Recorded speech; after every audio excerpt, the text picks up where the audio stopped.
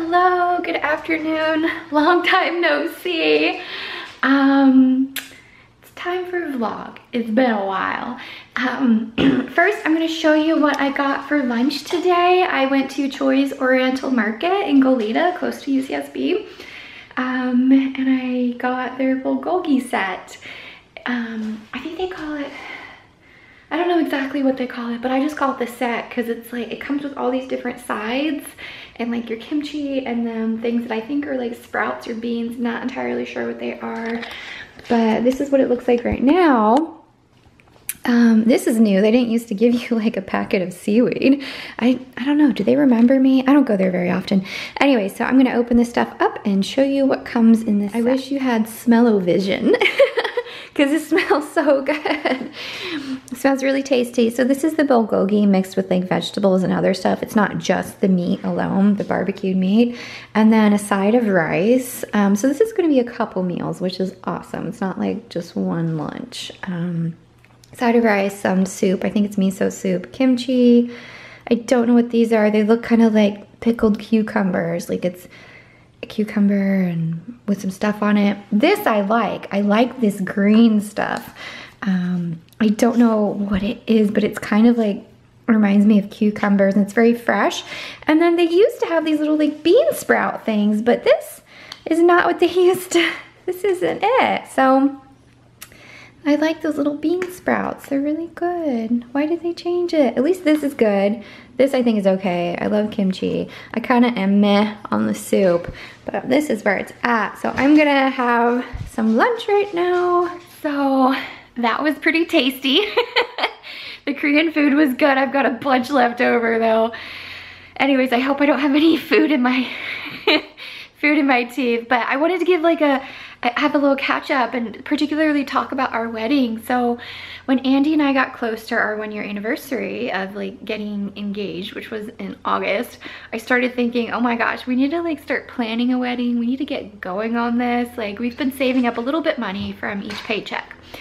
Uh, but you know, it's not like a sizable amount yet. So, um, we went to the Canary, which is this beautiful hotel downtown. We went to the rooftop. We really liked that and I was I had my heart set on it. We have looked at other places before like the Santa Barbara Women's Club.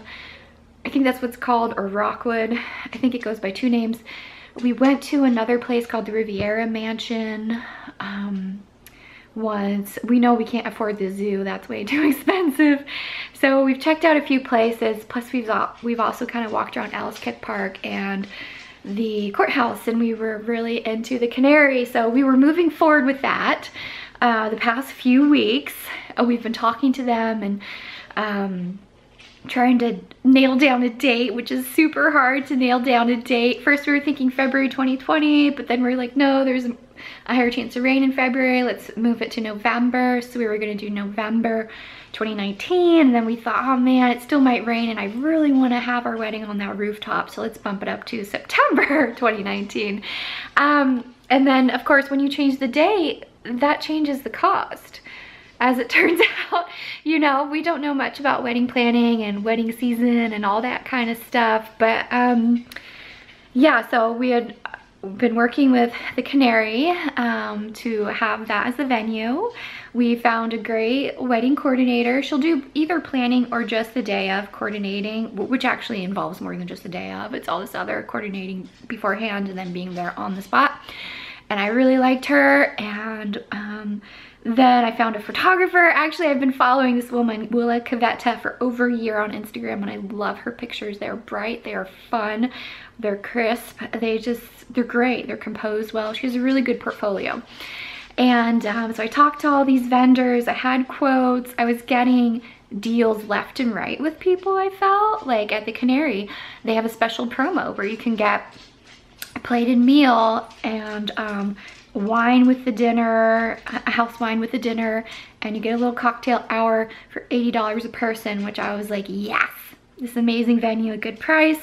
The wedding coordinator, the cheapest she would go was 1600 which included having someone else, her assistant, work the wedding the day of, which we were gonna do. And then the photographer, um, she went down below her base price for us.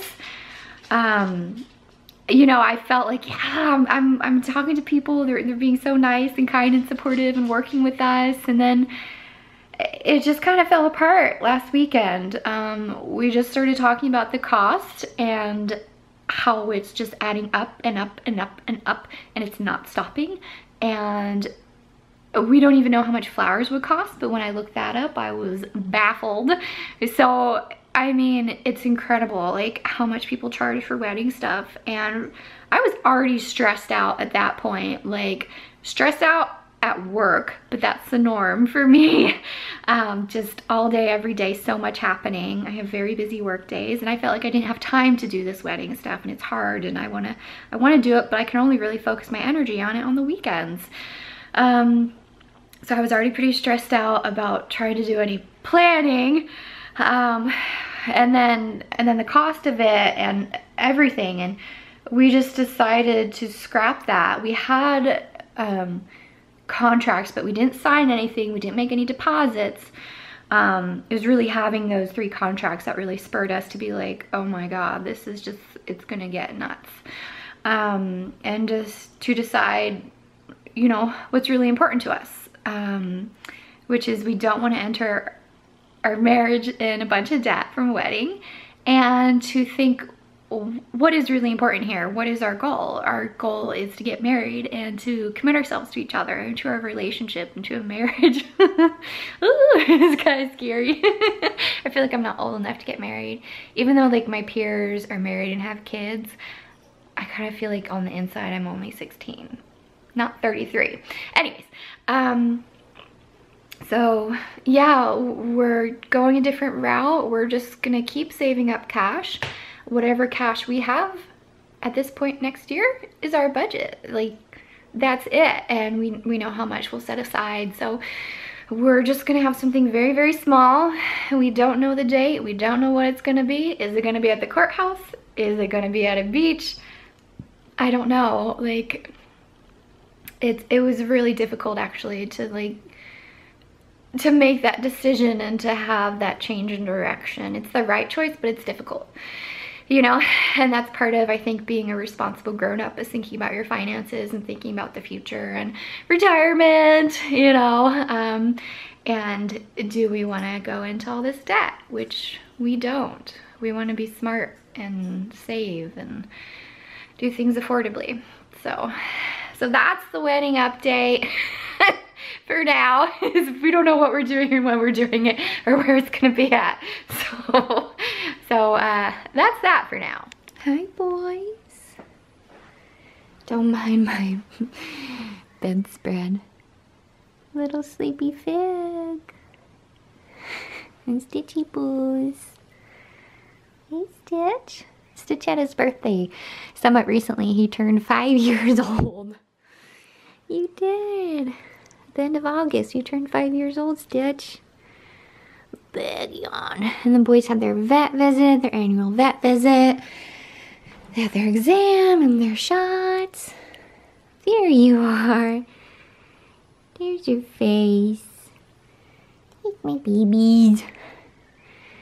My kitties. I have a few items I wanted to share with you. Some eyeshadow purchases when I get kind of stressed out, meaning stressed out with work, stressed out with wedding stuff, stressed out about upcoming trips that I'm nervous and scared about, all the transitions going on at work, a new payroll system, a new financial shadow system, holy guacamoles, you wouldn't believe it. Anyways, um, I end up shopping sometimes and buying little things that like make me happy. So that's what um, I've done recently. Anyways, that's what I do. Like if I'm stressed out, I'm like, oh my gosh, sometimes like I want to buy something or eat a snack. You know, those are my vices. Um, so I got the Charlotte Tilbury Stars in Your Eyes palette, which just came out this week. I'm still new to Charlotte Tilbury. I'm not too familiar with her line. I know she has these YouTube videos and this accent and she always says, darling, oh darling, whatever. Um, it's very cute and um, yeah I really wanted this palette stars in your eyes it is so pretty oh, let me it, it comes with these little basically four quads where you have different looks that are all set up um, hang on, you can see the bedspread in the reflection. Anyways, um, they're very, very pretty colors. Now you can see the cat pictures in the reflection. This is why I could never be a beauty blogger vlogger because I'm not with it. Like, you're getting reflections left and right. You can see the cats. You see little Stitch. Can you see Fig? He's over there too. You can't see him. Oh my god, like how do you do this stuff? Anyways, um, so there's four little sets or four little trios of eyeshadows and you can go with her look you know what I mean, and do those colors and those sets, or you can like dab around and do whatever you want. So they're beautiful. They're somewhat neutral colors. There's also some pinks. I feel like everyone is doing like pink and red palettes right now for eyes and it's really fun. You know, you got the Urban Decay Cherry coming out. I feel like the Norvina palette from Anastasia is a little bit reddish and pink. It's just something you keep seeing and it's kind of cool.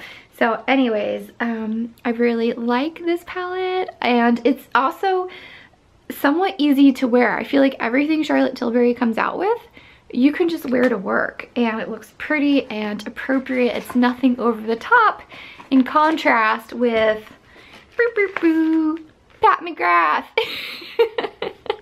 she does amazing stuff, but holy smokes, like some of it is not easy to wear to work you know? I guess you just have to pick the neutrals, but I feel like Pat McGrath kind of goes like bright and bold and really fun and, you know, she tends to have more of those looks going on. Um, so it's a little bit harder to find or to make it office appropriate uh, depending upon how uh, conservative your office is. So this is my first purchase from Pat McGrath. I actually had a $100 gift card, so I only paid 25 bucks for this because normally it's $125, which is insane. So expensive. Um, yeah, I was really excited. So this is the Pat McGrath Mothership 5. The Mothership is like what she calls the big eyeshadow palettes, and then there's 1 through 5. But number 4 was limited edition, and you can't get it anymore, but I really want it. So this is a number 5. And it's it's like very substantial. I had to have Andy hold it. I was like, can you believe how freaking heavy this is? Like this, it's like a sandwich. It's like a really heavy sandwich. Anyways, um, and it's just very luxurious like so much detail and beauty and thought put into it and then you've got your nice mirror and these colors which are amazing.